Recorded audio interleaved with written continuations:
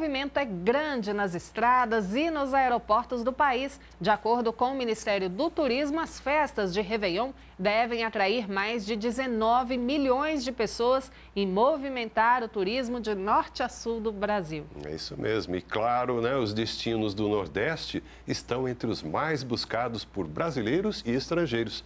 As festas na região devem reunir mais de 3 milhões de pessoas. Esta é uma das portas de entrada dos turistas que vêm à Bahia para curtir o Réveillon.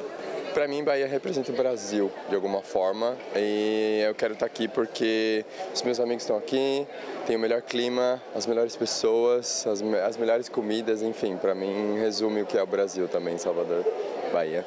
Então fica fácil escolher, né? Fica fácil, a Bahia é linda, melhor música do Brasil e sempre que possível a gente volta para cá. O movimento é tão intenso que o aeroporto da capital baiana se preparou para receber voos extras, a maioria do exterior. A gente está com um crescimento acima de 30%. Todas as rotas de voos internacionais em Salvador apresentam crescimento, com destaque, por exemplo, para Montevidéu, onde a gente tem um crescimento de 189%, Madrid, 50%, Buenos Aires, que é o nosso principal mercado, 20%, Lisboa, 4%, e ainda destacando esses voos inéditos vindos da Polônia.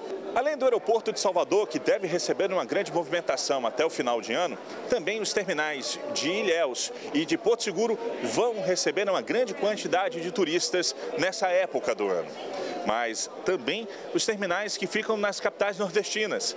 E esse povo todo precisa de um lugar para ficar hospedado.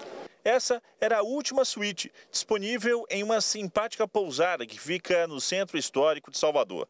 Era a última, porque até o fechamento dessa reportagem, ela estava sendo reservada por um cliente estrangeiro. A grande movimentação de turistas às vésperas do Réveillon deixou o local com ocupação máxima. A gente recebe reservas com bastante antecedência. Os viajantes costumam se programar com bastante antecedência, costuma ser entre 8 a 10 meses. No momento já estamos recebendo reservas para o final do ano.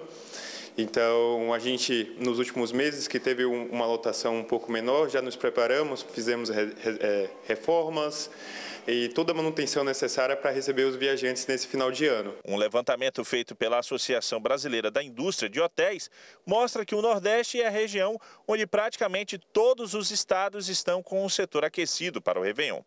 A Bahia, por exemplo, apresenta a ocupação de 95%, com Salvador já totalizando 100%. Ah, uma energia incrível né, da Bahia, então é a primeira vez que eu venho aqui, eu só vim uma vez na vida, passei o dia, eu falei, preciso ir mais dias para a Bahia, quero virar um ano com energia renovada, por isso a Bahia.